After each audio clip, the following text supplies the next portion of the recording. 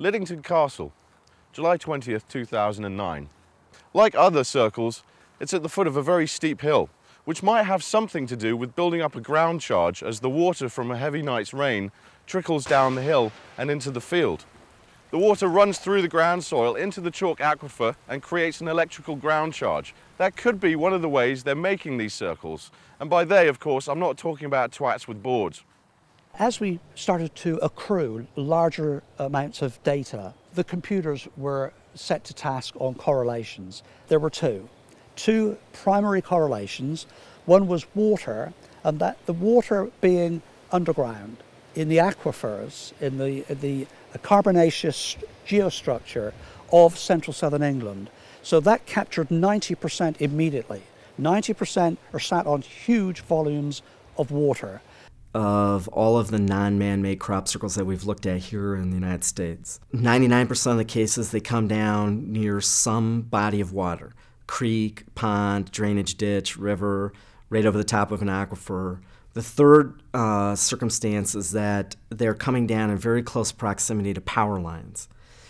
The fourth component that we see is that in about 65% of the cases here in the United States, the crop circles are coming down in very close proximity to Native American mounds or earthwork sites. Right across uh, this valley on the other side of that road down there is where the crop circle occurred in August of 2003 here in Locust Grove, Ohio.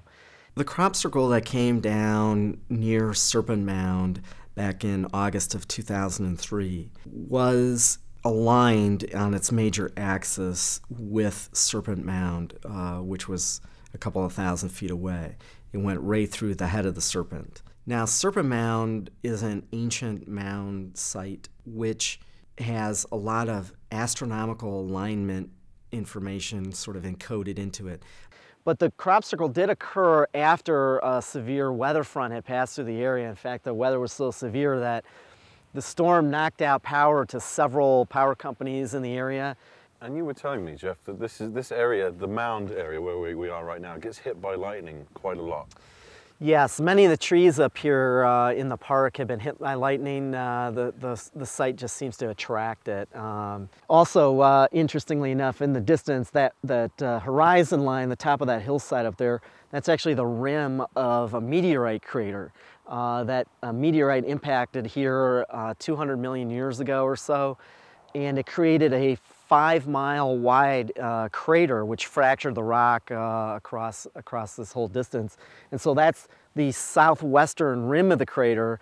We're now sort of standing up here on the uplift in the center part of the crater, but the crater then extends uh, four miles in that direction. Uh, so it's a pretty extensive crater. We're seeing a very similar circumstance to the to the ancient landscape in, in England as we see here in the United States.